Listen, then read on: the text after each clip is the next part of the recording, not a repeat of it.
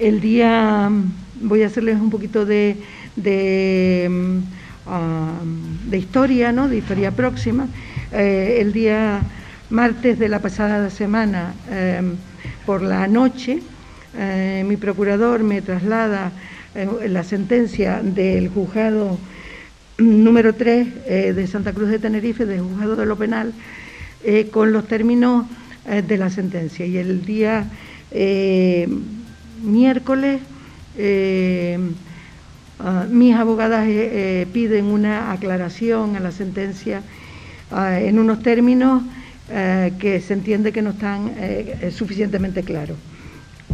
A partir de ahí empieza el procedimiento eh, político, pero no administrativo, porque la sentencia aún no es definitiva. Y no sé si estoy empleando los términos correctos, pero, em, pero no es definitiva en el sentido de que falta la aclaración a trasladar por el juzgado.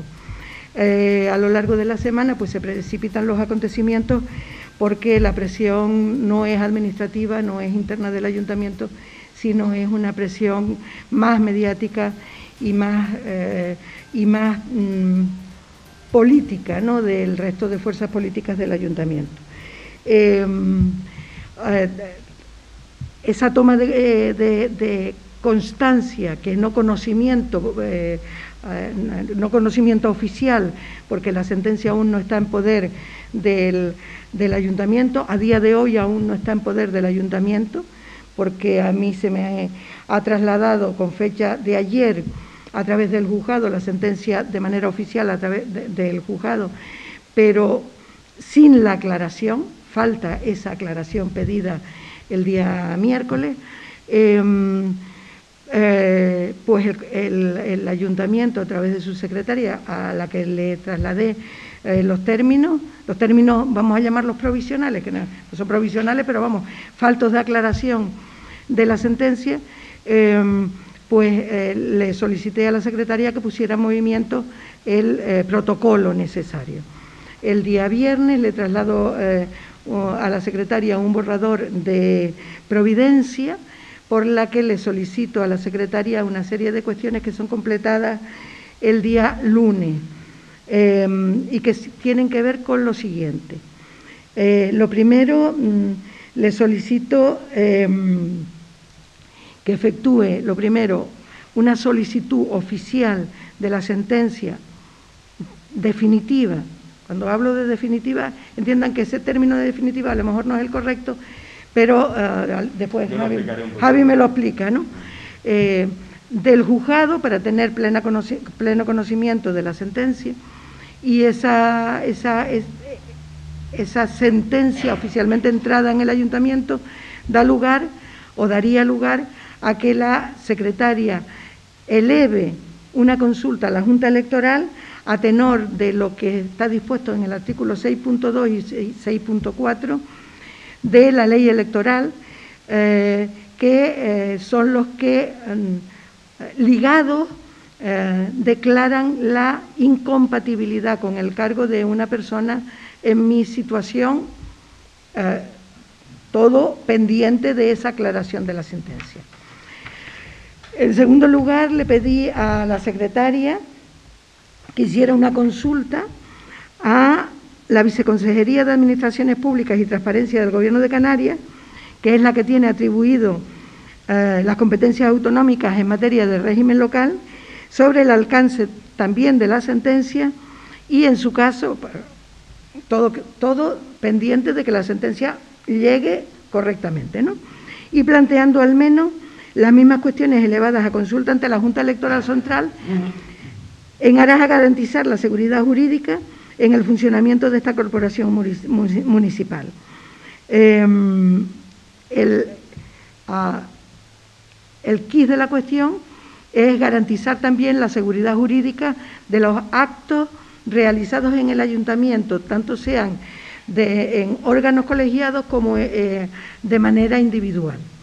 A la fecha de hoy, al no haber aún sentencia, eh, la que habla Ah, sigue siendo la alcaldesa y en este momento no hay problema, pero habrá problema en el momento en que la Junta Electoral declare esa incompatibilidad y en el momento en que el Pleno declare esa incompatibilidad. Pero hay que garantizar la, eh, digamos, la seguridad jurídica de la administración local en el sentido de que um, esto no debe afectar al, buen, a la buena marcha de la administración. Y por último, en base a esas dos uh, consultas uh, eh, que, le pido a la secretaria que, que eleve, eh, que ella misma elabore un informe donde haga referencia a estas dos cuestiones y que con, con ese informe se proceda a actuar en lo siguiente. Consultas que se le hacen a la ley electoral son, por ejemplo, ah, perdón, a la, Junta Electoral, son, por ejemplo, eh, los plazos, que no están claros, en la propia LOREC no están claros, y, por ejemplo, eh, eh, en el caso de que haya que convocar a continuación un pleno, como yo causaría baja, hay que solicitar que se me sustituya y si es mm, obligatorio hacer el pleno de elección de alcalde inmediatamente o hay que esperar a que llegue la sustitución.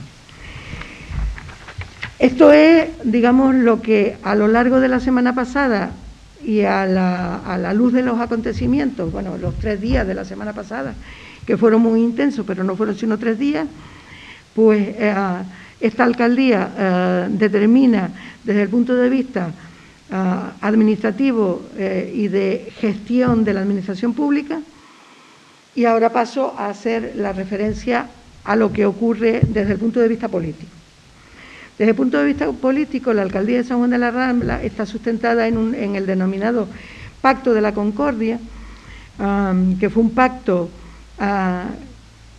que yo quería que hubiera salido Ah, triple en el junio del año pasado, pero que mm, por motivos que no vienen al caso, pues salió solo con un socio que se, al que se incorporó el otro socio en junio de este año. En junio. Se empezaron las conversaciones en junio, pero creo que, que se consolidó en agosto. Ese pacto, ese pacto de la concordia, en ese pacto de la concordia concurren dos socios a los que en la semana pasada, con los que en la semana pasada sostuve dos reuniones eh, en los que le expliqué todos estos términos. Y mi eh, disposición a hacer una retirada ordenada y eh, en su caso a salir de manera disciplinada, obviamente, sin eh, eh, provocar ningún disturbio ni a la Administración ni al grupo de gobierno, porque la vida continúa pese a las sentencias judiciales. Em,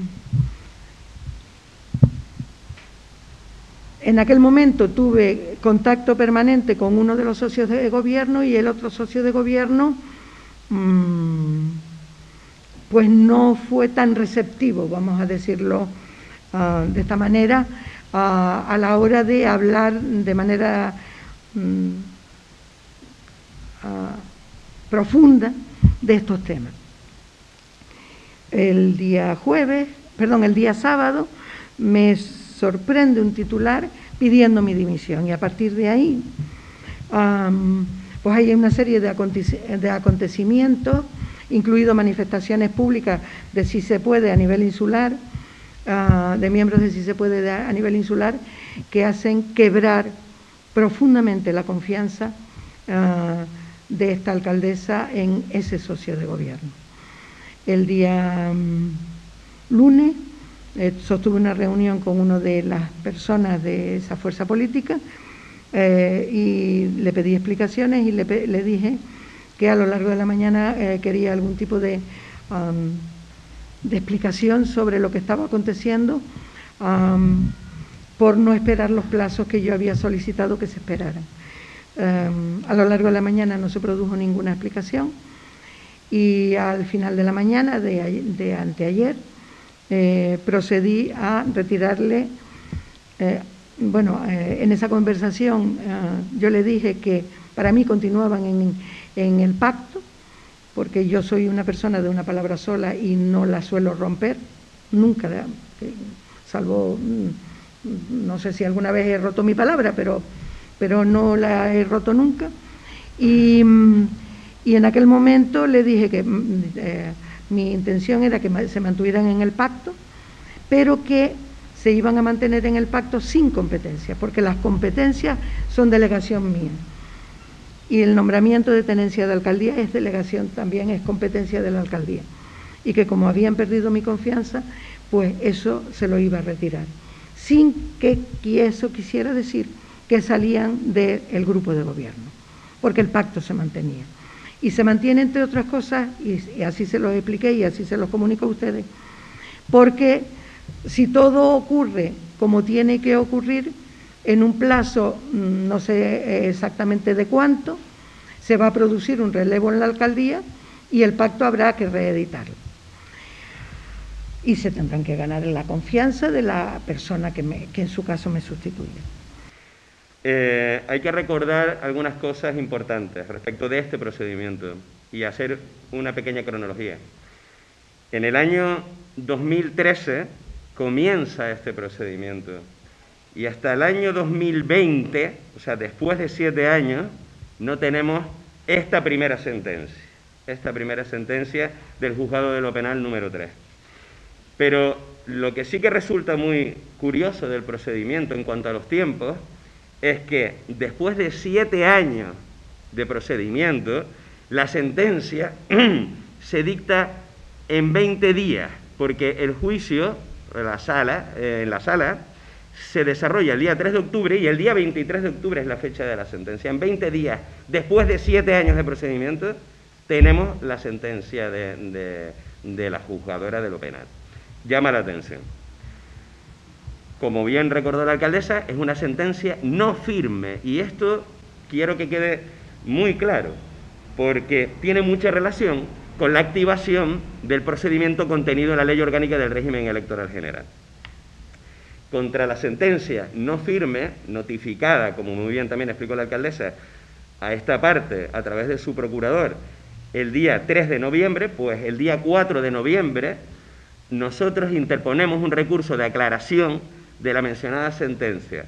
¿Por qué lo interponemos? Pues mm, hay una razón jurídica, no es un capricho, sino hay una razón jurídica legal en el artículo 42 del Código Penal, ¿eh? se explicita, se transcribe en ese artículo, que las penas privativas de derechos deben, en las sentencias que privan de derechos a las personas, deben aclarar y deben fundamentar el alcance de la privación. Es decir, no te puedo yo privar de un derecho y decir que estás inhabilitado sin que se explicite en la sentencia el alcance de la limitación y de la inhabilitación, si es para empleo, para qué tipo de empleo, si es para cargo público. Y eso es una exigencia legal. De ahí el basamento de ese recurso de aclaración que se presenta el día 4 de noviembre y que, cuestión importante, no hemos recibido todavía resolución del recurso de aclaración por parte del juzgado de lo penal. Por tanto, la sentencia no firme no puede desplegar los efectos jurídicos que tiene que desplegar hasta que la resolución de la aclaración no se notifique a la. Esto es fundamental. Por supuesto que contra la sentencia, cuando, y además cuando llegue la aclaración, se va a interponer el recurso de apelación ante la audiencia provincial, por supuesto. Eso faltaría más después de leer la sentencia. Eh, ese recurso lo estamos trabajando, como, como, dije antes, un equipo de juristas de distintas especialidades, no solo de la jurisdicción penal, también de la jurisdicción contenciosa administrativa y de la jurisdicción civil. Entonces, respecto del recurso de, apelación, solo les voy a comentar, y respecto de la sentencia, alguna pincelada, pero no quiero tampoco profundizar porque estamos precisamente ah, ya preparando la redacción de ese recurso de apelación. Sorprende de la sentencia algunas cosas. Una de las que verdaderamente sorprende más es que en la testifical del secretario, ah, la sentencia recoge literalmente que el secretario no intervino en el expediente administrativo, no confeccionó el expediente administrativo relativo al pago a don Pedro Vargas. Esto llama poderosamente la atención, que el secretario diga que no ha intervenido en la confección de ese expediente. También llama poderosamente la, atención de la sentencia el que se omita, se omita por parte de la juzgadora que el decreto de las gratificaciones no se llegó a abonar. Se omite, se guarda silencio en la sentencia sobre el particular. Y claro, esto es muy importante porque no existe la tentativa de prevaricación. ¿eh? Y el tipo que se le ha aplicado a esto es la prevaricación continuada. No puede existir la prevaricación en la tentativa basándose en una supuesta expectativa de derechos a los trabajadores.